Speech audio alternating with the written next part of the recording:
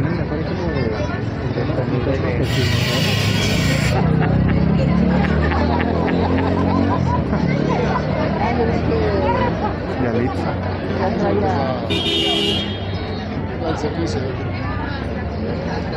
Qué lindo Mayer, que trae a toda su gente al, al teatro.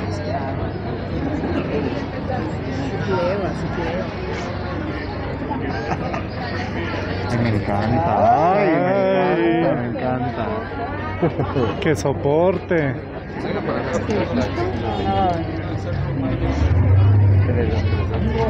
Se me hace tan guapa. Un estilo.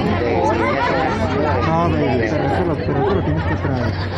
El estilo lo que me faltó. ¿Ah, es tú? Ay, perdón, yo diciendo Me encanta, me encanta.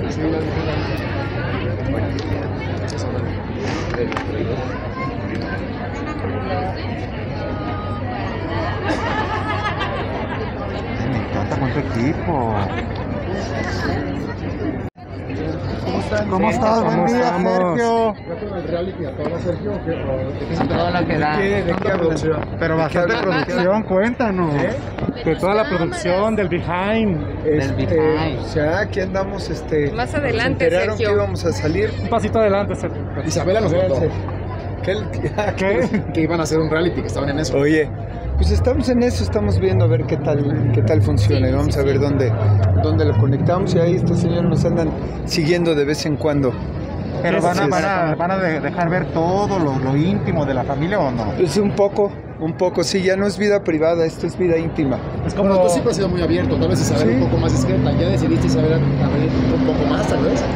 Pues me cuesta mucho, la verdad, hemos tenido muchos roces, muchas discusiones, muchos gritos en casa porque nosotros tres estamos un poco renuentes a, a todo esto.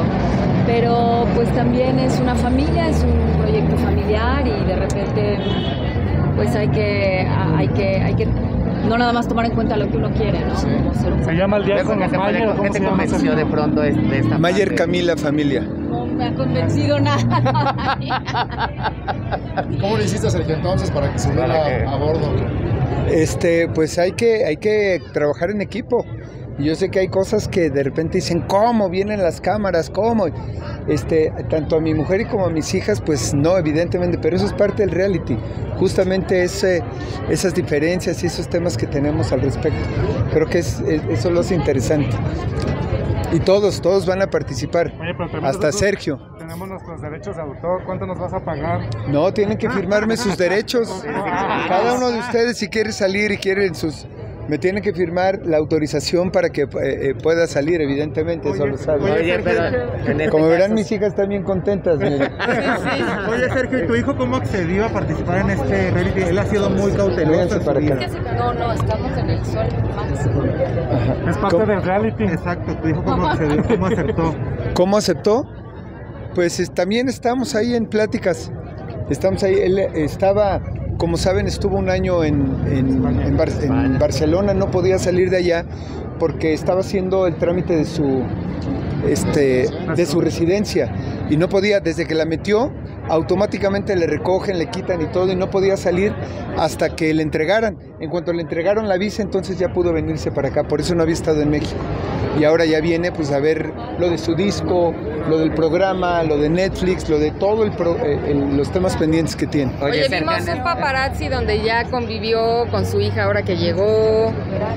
Eh, se ahí saludando a Natalia. Sí. una revista. A eso vino, a convivir y a estar con su hija, evidentemente, y a, y a- a tratar de, de disfrutar esos momentos. Oye, Sergio, tú habías mencionado que el día de hoy era